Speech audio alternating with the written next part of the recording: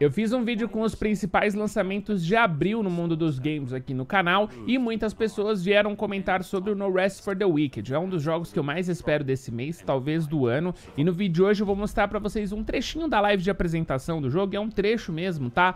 Que são as principais partes que eu acho que vão ser grandes destaques desse game. O jogo sai agora no dia 18 de abril em Early Access uh, e vocês vão... Eu vou tentar pelo menos posicionar pra você que não viu nada do jogo ainda, porque que o pessoal tá tão empolgado, né? Ele parece misturar o melhor de dois mundos ali, dos action RPGs, tipo Diablo, é Pó e essas coisas, com... É, uma gameplay mais responsiva no sentido de, de, de desafio, né? Então é uma pegada mais aí uh, Souls-like, né? Então é, a gente começa aí na intro do jogo, né? Como vocês podem ver, o visual do jogo é bem agradável, é bem interessante, né? Uh, a visão isométrica, ela dá um, ela tem uma, ela tem função, né? Às vezes as pessoas se confundem um pouco, ah, não, mas o jogo assim não é bonito e tal, não. Ela tem uma função uh, que é você ter um jogo mais estratégico, né? É todo, toda a modelagem de jogos assim, ela é totalmente feita, né? Então esse personagem aí, você consegue chegar perto dele, não sei se no jogo, mas o modelo dele é muito bem feito, né? Mas eles optam por esse ângulo pra passar um determinado tipo de coisa, né? Não é uma decisão artística uh, de qualquer maneira, né? O vídeo começa explicando um pouco sobre o mundo. Pelo que eu entendi, uh, esse, esse, esse looting que eles mostram aí está randômico. Eu não sei se eu gosto tanto do randômico. Eu gosto quando a gente tem um mundo totalmente desenhado à mão, né? É, mas eles falam que o loot majoritariamente está randômico. Talvez os itens especiais não estejam, né? Espada mais forte, esse tipo de coisa, né? A gente tem um dialoguinho aí do Captain Talvik. Nosso personagem claramente é um náufrago, né? Vou aumentar um pouquinho o volume. O jogo tá dublado, né, mas não em português a princípio. Ó, isso que é legal, ó. Olha, olha o visual do jogo, mano. E olha o personagem como já mudou, né? Ó, ó, percebe que as, as roupinhas, as skins dele vão mudando de acordo com as armaduras e tal, né? Bom, claramente, né? Ó, dia, noite, chuva, tudo dentro do mesmo ambiente, sabe? Então isso também é bem interessante, né? Olha que maneiro. We also engineered a very special way of rendering our top-down world, where you can always see so much further into the distance. Que é, vocês entenderam, né? Mesmo a isométrica, né? Ela tem uma visão ampla para você ver o, o horizonte, né? Olha isso. Olha que decisão artística legal, né, mano? Tipo, de escaladas, né? De, de interação e tal. Cara, esse jogo tem muito potencial, cara. Muito potencial. E quem jogou falou que tá incrível, mano.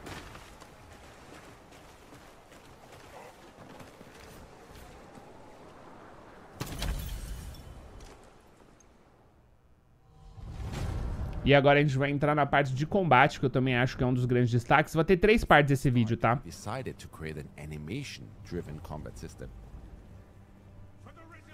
Which to us meant that every attack you make should be carefully considered.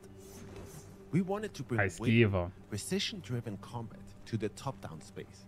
Combat that's inspired by several different genres from ARPGs to fighting games. In order to overcome an opponent, you need to watch out for telegraph behaviors and then punish accordingly. Moveset, né, que a gente chama, né? Você aprendeu os movimentos do inimigo. Spacing and weapon weight are incredibly important in Wicked's combat model. In the Rest for the Wicked, o inventário tá lindo também, hein? Olha. And stats driven by RNG.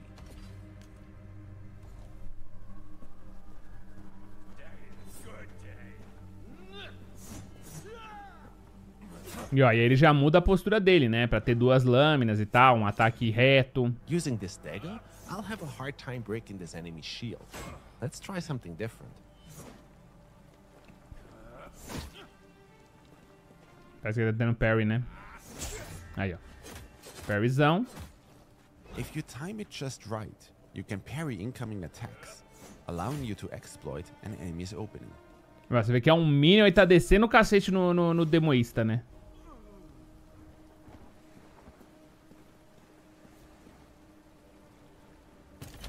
Cara, olha o visual desse jogo, cara.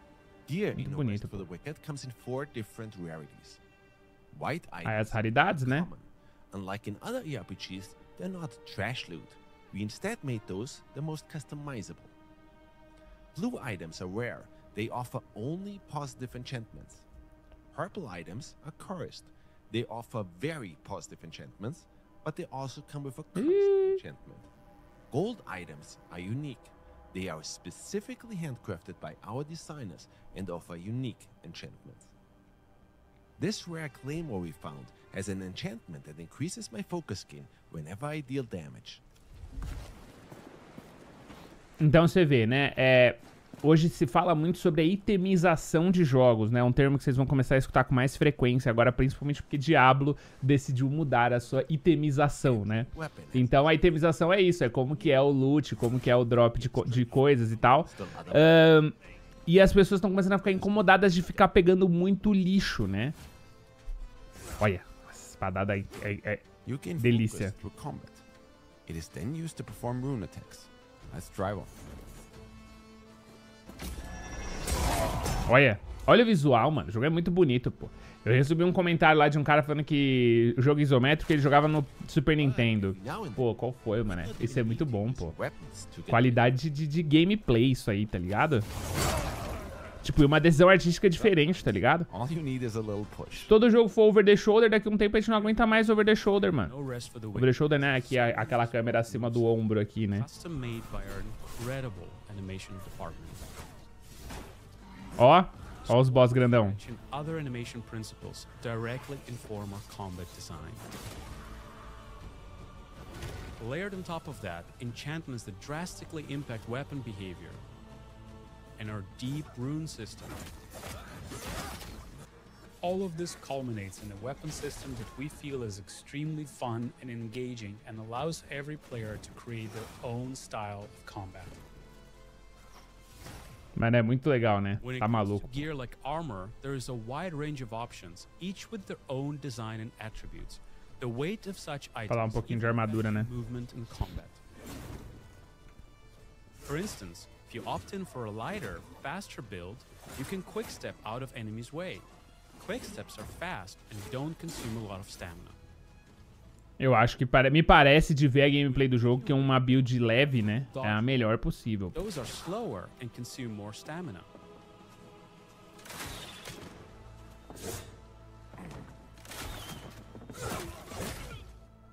For No Rest for the Wicked, we designed a soft class system. Instead of locking you into a character class, Isso é bem legal you também. don't have to adhere to for the entire playthrough. We want you to have the flexibility and freedom to play as the type of character you want to, and even come up with character classes we haven't even thought of. So far, we've shown what combat looks like with a more melee-focused build. Let's take a look at how combat changes. Maguin, Maguin, Maguin nojeira. This character build uses a two-handed stab. We have three rune specials available. Blue, Ó, Fireball, and Nova. Fighting Irado, né? enemies is always tricky. ó, você tem a noção de você tem a noção de onde todos os seus inimigos estão, tá ligado? Essa é uma das vantagens do jogo assim. Você tem que bolar uma estratégia de movimentação, de posicionamento. Pô, eu adoro isso. Being able to create any character build you can think of through our soft class system, and the randomized loot. Então, isso eu acho difícil. Vocês perceberam ali que a gente monta a build de atributos, né? Eles falam que quiseram deixar um esquema de build mais fluido, né? Ou seja, você pode meio que mudar de acordo com o equipamento e tal. Mas aí eu não sinto muito isso quando você tem um sistema desse, né? Porque você tem que ficar realocando pontos. Eu acho que o Dragon's Dogma... O ruim do Dragon's Dogma é que ele tira um pouco da, da personalização de atributos, né? Mas o Dragon's Dogma 2 agora recentemente ele fez um método quando você troca de classe, seus atributos se adaptam, né?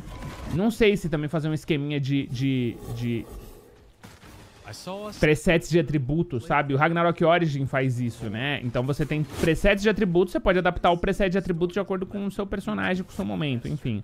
Eu gosto. Olha essa boss fight, mano. Ó, movesetzinho tranquilo.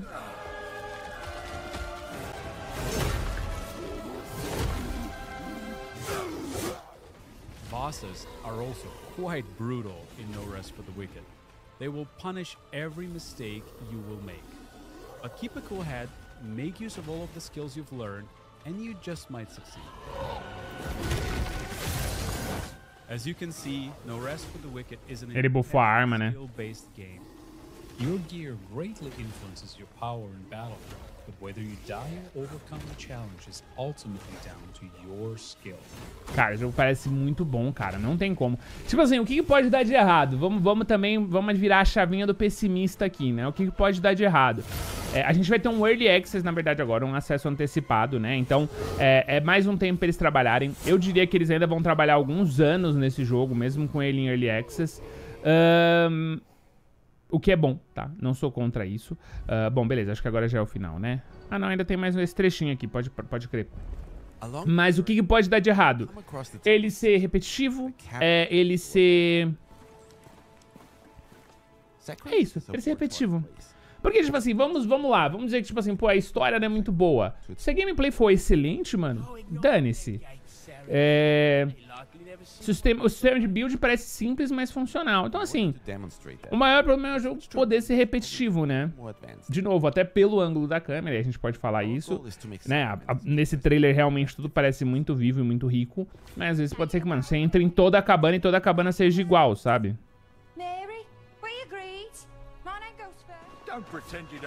Não sai em português também é um problema, hein? And players will be in control over how Sacrament will evolve over time. Vamos ver, não deve demorar muito pra eles traduzirem, não. O Brasil tá abraçando muito RPG nesse estilo, né? I helped Fillmore rebuild his smithy. He now sells better gear and is also able to upgrade our gear to a higher level. Isso é legal, né? Porque aí a gente, a gente vai ajudando o, o Ferreira a melhorar e tal.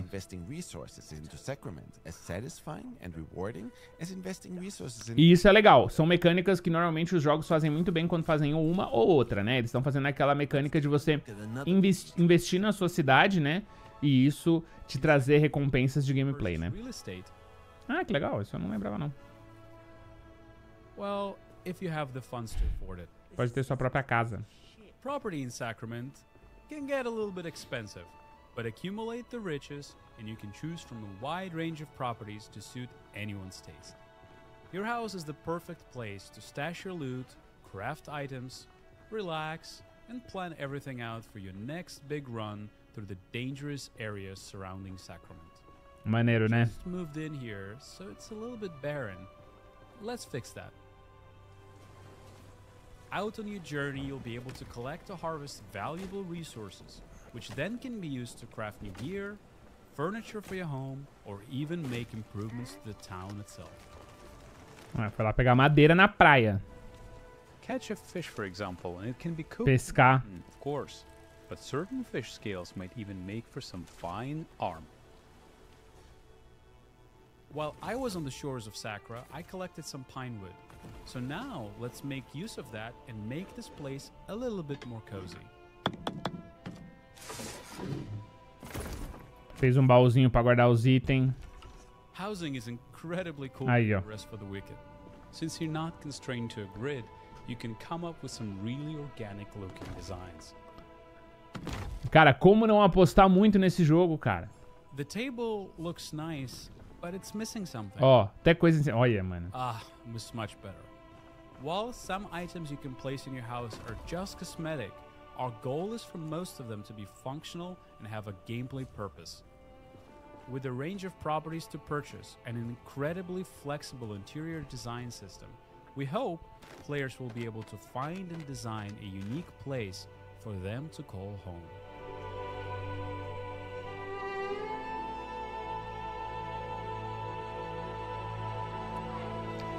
Olha, mano, se você não hype esse jogo, você é uma pessoa aí muito consciente, tá? E pouco emocional. Eu sou pouco consciente e muito emocional, né? Tem ainda o conteúdinho de game agora. Ah, e aí depois acaba, né? Que eles anunciando o Early Access. Although No Rest for the Wicked features a traditional campaign, it was important to us that the Solar Sacra is very much a living, breathing world. Live and bread and In order to show you what that means, we're going to go to an area called Mariner's Keep. This is an area I've previously ventured through and explored. However, since my last journey through here, Nif have overrun the local area. Presenting entirely new threats for me to tackle and resources for me to scavenge.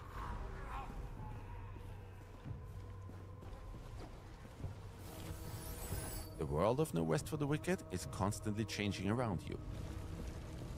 And each time you visit a region, you'll be faced with a drastically different experience. Do nada. Do nada, velho.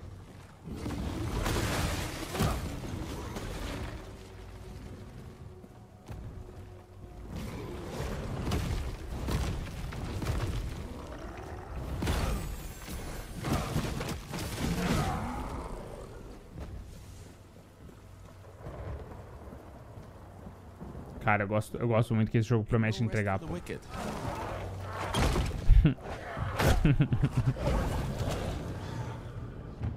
you never really know what to expect. For those of you who asked about Endgame, yes, we've got you covered. While we don't want to give away too much at this point, once you reach the endgame, you can enter the Serum Crucible.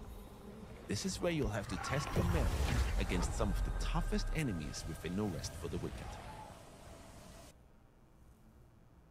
Our goal is Beleza. Então a gente acaba por aqui, porque agora é o anúncio deles do do, do Early Access, né? Então, tá chegando. Eu tô hypado. Obviamente que eu vou cobrir aqui o início dele, tudo que tem de, de, de possibilidade. Ah, já tentei entrar em contato com eles, ver se tem algum tipo de acesso antecipado. Não tive resposta. É, mas, se eu conseguir alguma coisa, obviamente que vocês vão saber aí a partir da queda de embargos. Ah, ou se não, eu vou comprar o jogo e trazer aqui normalmente, tá bom? Então podem ficar tranquilos. Ah, no mais é isso. Espero que tenham gostado do vídeo. Se você gostou, deixa seu like, se inscreve para mais conteúdo de No Rest for the Wicked, porque eu vou trazer ele aqui no canal. É nóis, tamo junto, um beijo, até a próxima. Valeu.